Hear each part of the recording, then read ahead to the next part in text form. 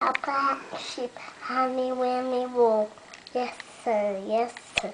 Three bags full. One for my master, one for my dame, One for the little boy lives down the lane. Good job, Ryan.